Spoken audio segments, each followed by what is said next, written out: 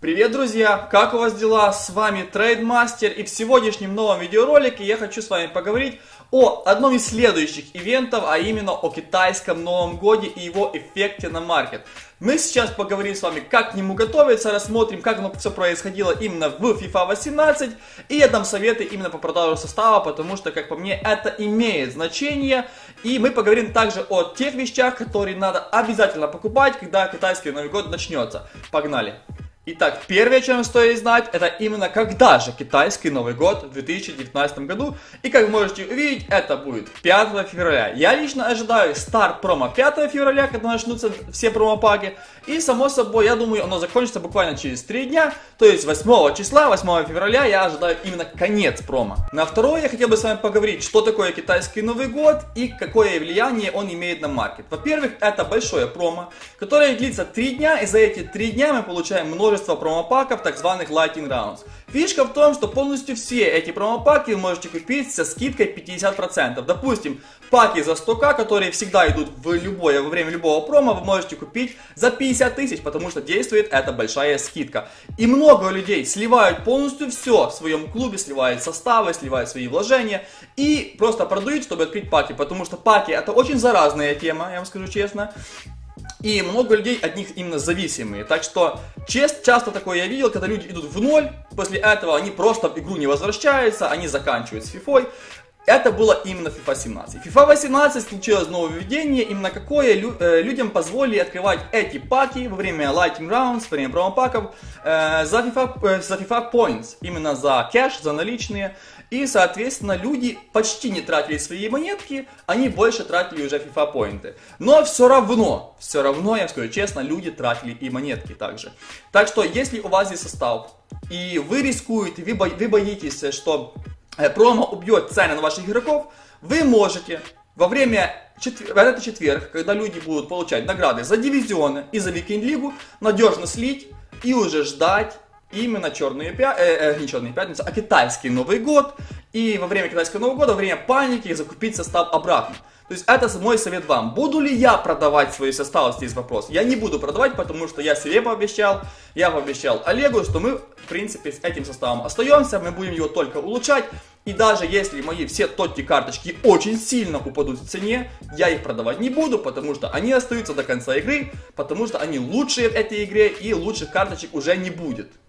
Третье, это самое интересное для вас, мы с вами переходим в раздел СБЧшек. В прошлом году китайский Новый год стартовал именно 16 числа и закончился 19. Почему? Потому что китайский Новый год выпал именно на 16 февраля.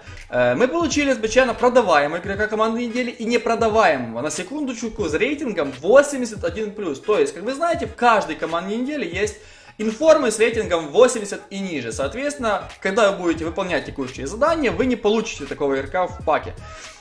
Э, для непродаваемого условия сборки рейтинг 83, сыгранность 30, то есть в принципе сыгранности не нужно. И если сейчас пойти на маркет, рейтинг 83 стоит по 850-900 монет по buy now, а поставки, поверьте, можете взять их по QXL.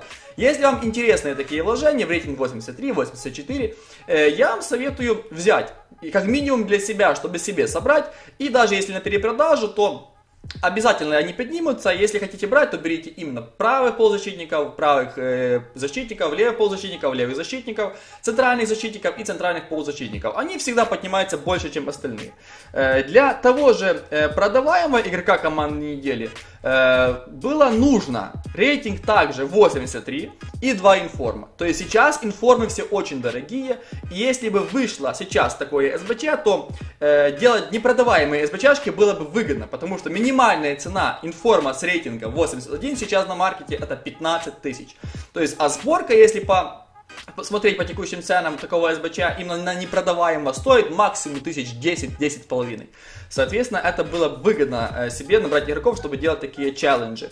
И также есть здесь одна фишка, если вы э, не хотите открывать э, этот пак, вы собрали, но хотите открывать, потому что команда недели плохая, то вы можете сохранить себе эти паки и, в принципе, открыть, когда команда недели будет классная, чтобы иметь шанс поймать кого-то реально стоящего.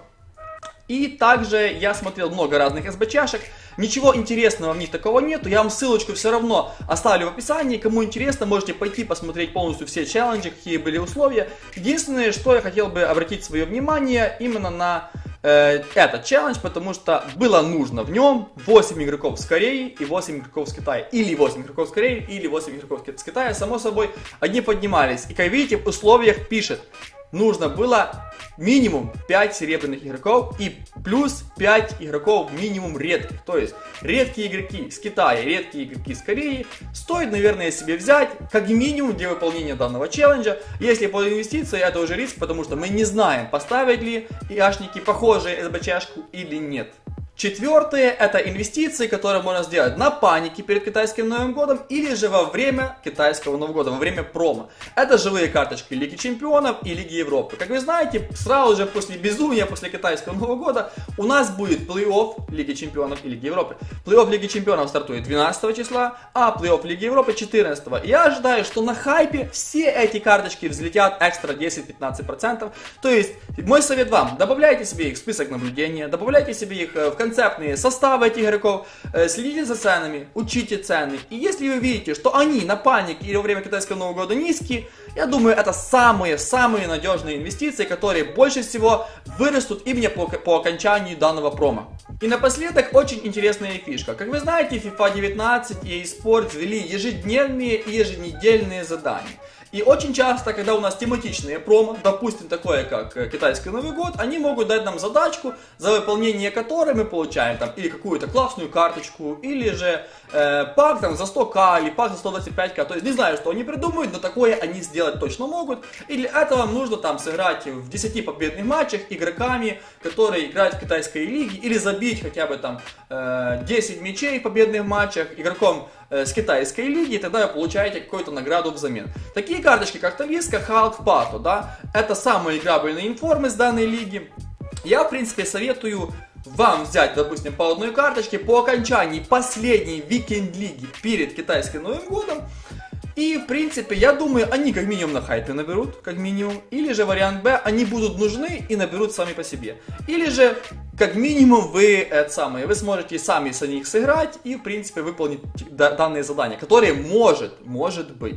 На этом у меня все. Давайте насобираем 700 лайков и в течение 24 часов я для вас запишу еще один полезный видос. Всем пока, спасибо за просмотр.